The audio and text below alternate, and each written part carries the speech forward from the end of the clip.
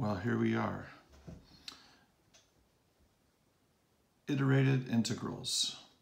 Uh, this one would be called, of course, a double integral in the English language because there are two integration symbols and two variables. And we will later on look at some triple integration. And there are certainly, uh, it's likely that there are applications for more, but we're going to look at doubles for quite a bit now. And I just wanted to tell you, like, the purpose of this video is um, to look at just evaluating it. Can we do the computation? It does not take much to compute uh, a double integral if you have the ability to integrate a definite integral. Um, but I want to make sure you know how to read the notation. And then the meaning of the boundaries or limits of integration and these variables in this particular order um, is going to be saved for later. Okay, I'm just going to say not now because we're not going to do that in this video. That's coming up soon though. All right, so let's look at our double integral. First thing you need to know is that there's an implied order of operations or grouping symbol here and it could be written or drawn in like this. This tells us what the variable is and that means these boundaries are y equal boundaries. y equals 1 to y equals 4. That would make x the constant when we do the integration. So now it comes down to, um, remember, other people have to read your written work, how you organize it. It's possible to integrate this off to the side and then input the information into, you know, the next step here. Um, if you're going to use an equal symbol, make sure that what comes next is actually equal to this. Don't just throw the equal sign out there because it feels like it's what a math person would do. So I'm going to ignore or hold off on the 0 to 2 for a moment, and we'll put the dx in later. If y is the variable, this antiderivative is y squared divided by 2. So you have x squared multiplied by y squared divided by 2.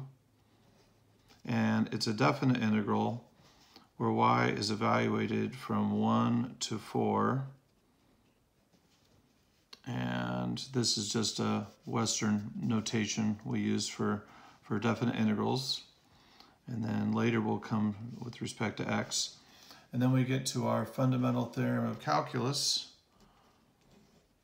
0 to 2.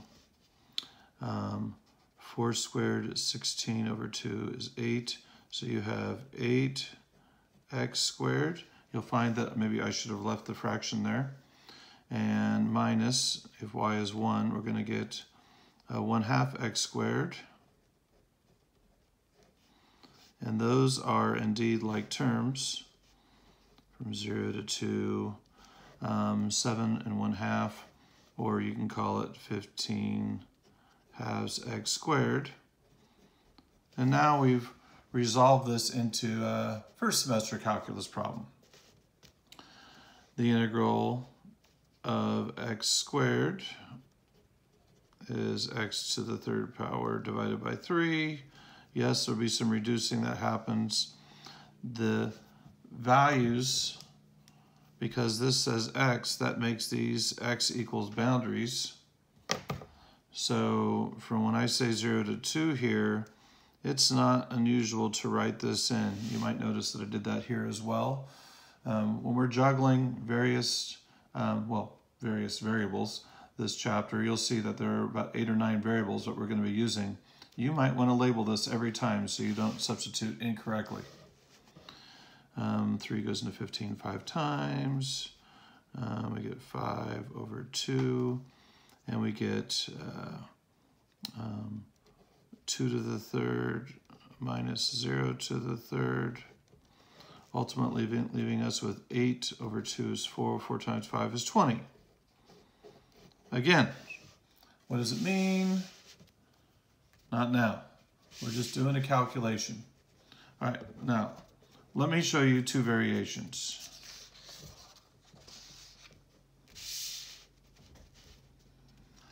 I'm just going to go through these calculations much more quickly. This is called the order of integration. I'll write it later. I've now switched the order of integration, but these limits are in their original form. This says x, so that makes this x equals, and this says y, that makes those y equals. That'll be significant later. So the first antiderivative, 0 to 2, is going to be x squared is the variable part of the expression. We're going to get x cubed over 3 times the constant y. x goes from 1 to 4. We'll integrate with respect to y later. And we're going to evaluate this and get from 0 to 2, 64 thirds y minus one third y.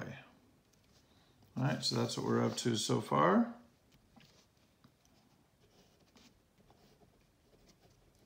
Now, scratch paper. 64 thirds minus 1 third is 63 thirds, which is 21.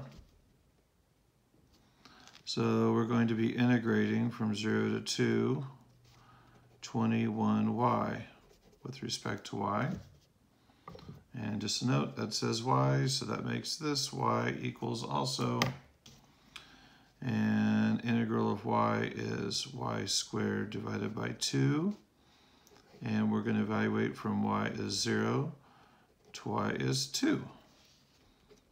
21 has 2 squared minus 0 squared. That's 4 over 2 is 2 times 21. 42.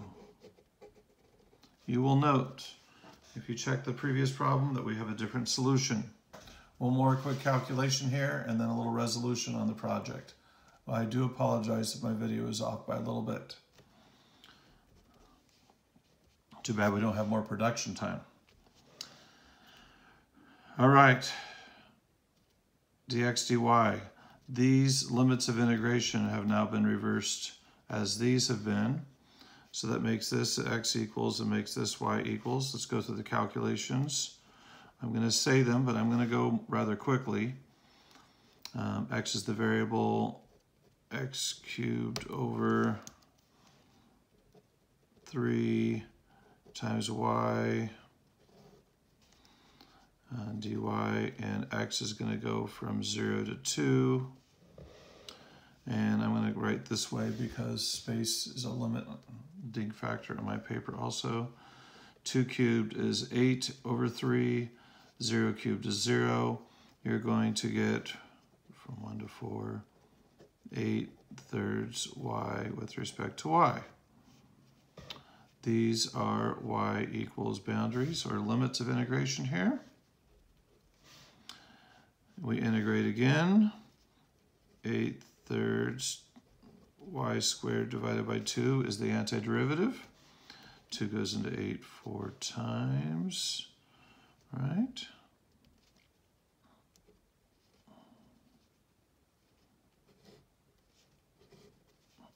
y goes from 1 to 4. So we get 4 thirds y squared from 1 to 4. So let's crank this out here. 4 squared is 16 times 4 is 64. 64 thirds.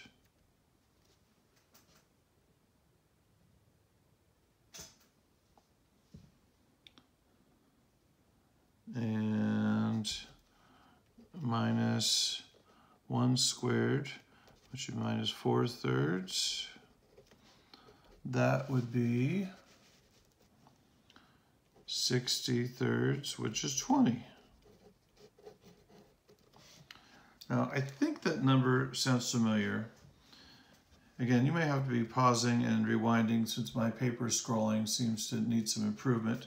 But let's round this video off really quickly with just a little observation.